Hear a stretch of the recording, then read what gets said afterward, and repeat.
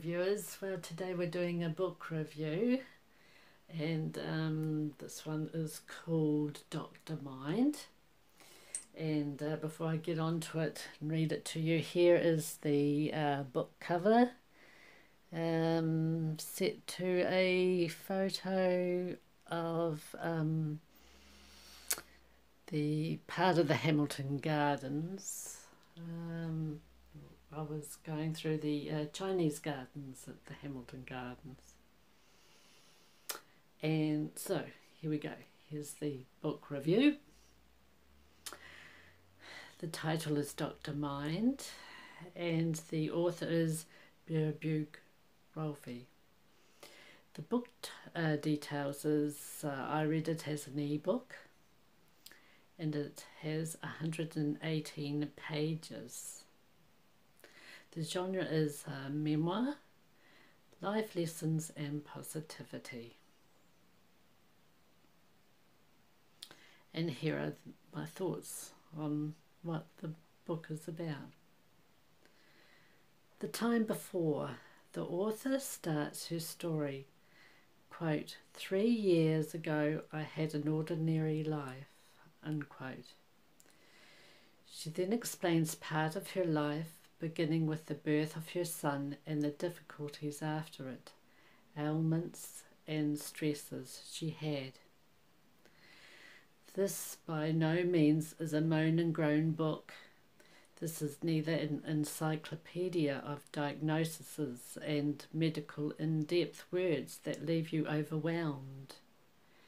This book is purely about a lady that just wanted to tell someone what she had been through and and with that maybe we can learn from the experiences she had or maybe we can identify identify ourselves with some issues she had.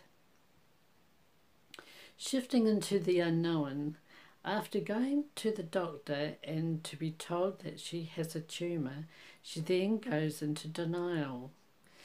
Quote how could this happen to me? Give me all the migraines in the world, but not a tumour. Unquote. We are then led into the author's world of how she coped. The author was shunted backwards and forwards. No one knew for sure whether the tumour was malignant this, with reading Louise Hay's books and videos and repeating affirmations from them, she started to believe within herself that she was healthy, regards of what anyone else was thinking. The time came when she saw one last doctor who, through doing an ultrasound, found that these tumours were harmless, although yearly checks would be needed. And then I picked three quotes out from this book that I put in the book review.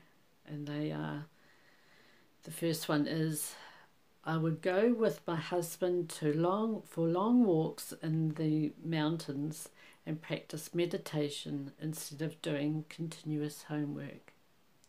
Housework, sorry. Although I suppose it could uh, I suppose it could adapt to homework, couldn't it? for the young. Uh, the second quote It was like a magician's use abracadabra, an Aramaic phrase meaning I create as I speak. And the third quote that I included in the book review it was a moment of a tiny miracle happening to me. I managed to use my power to change reality it was a moment when a little baby of hope was born. I didn't want further explanation. I knew exactly what had happened. I changed the course of my destiny. I created my own future with my own power. Okay, and now I'm going on to um, my my other thoughts on this book. This is my second time reading Dr. Mind, and I'm so glad I did. One forgets the power of affirmations deterring away neg negativity, negative people, and such like. Such a powerful and uplifting book that just shows that with a positive attitude, anything is possible.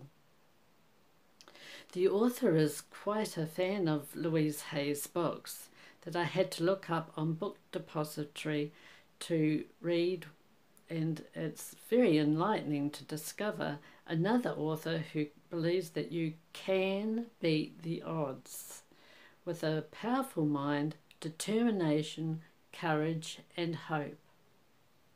At the end of the book are a handful of healthy recipes you can try.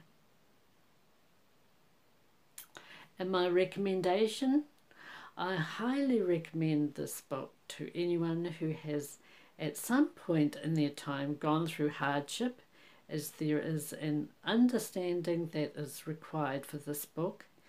Anyone who admires strong willed females, anyone with a positive attitude, as what you read does determine what sort of person you are, and for anyone who is in for a much healthier life, as this will definitely inspire you to do just that.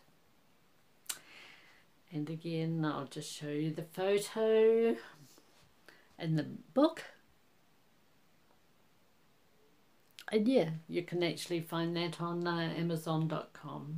Uh, although I was given this book uh, originally from the uh, author herself. So thank you. Goodbye. Have a good day.